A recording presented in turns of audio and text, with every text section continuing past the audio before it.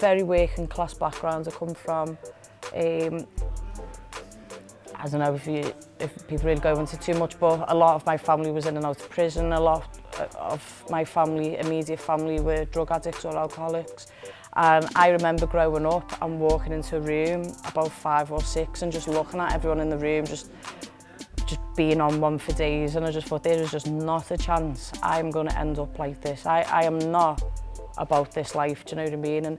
And um, so to make sure that I didn't end up that way. It was the sport, it was football, it was it was my coaches, um, it was my family changing their life and, and being like, do you know what, we fluffed up there, but this is the way, and Mol, you've got to be this way now. And um, I learned how not to be. I learned, don't monkey see, monkey do isn't always the case. And, um, and yeah, I just think I learned how to not give up.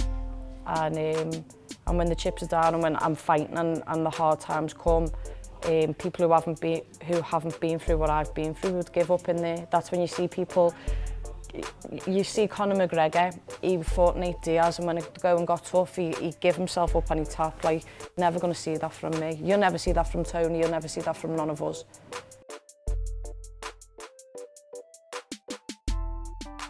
A common taxi drive I get, I have to convince, I feel like I have to convince someone um, about what we do. And they've still got an old conception of uh, uh old perception, sorry, of brutal, raw, um, barbaric. Like there's loads of words that you, that negative press that you can give mixed martial arts, but what mixed martial arts really is, is it's dedication, it's discipline.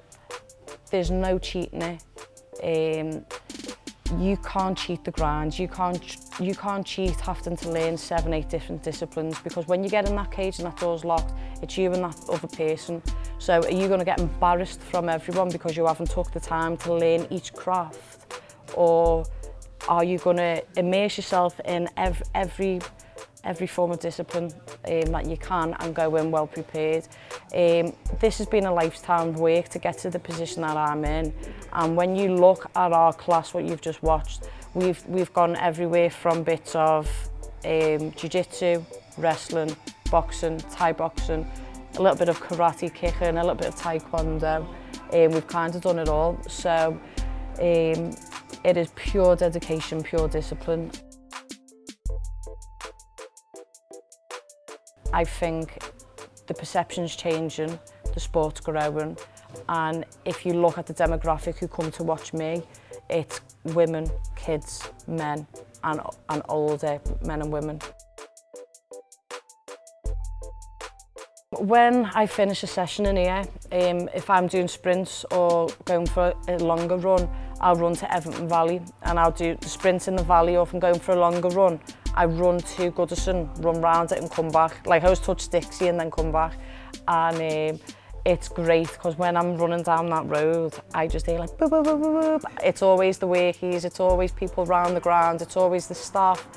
Um, yes, meatball and like when your legs are really tired, I can't tell you what it's like to cut the amount of weight that I cut because men don't even do it in boxing, do you know what I mean? Just MMA fighters cut a little bit of a bigger weight. Um, it's really nice to see that kind of thing and, and have the, the, the people support, the people's champ. And it makes it a lot easier.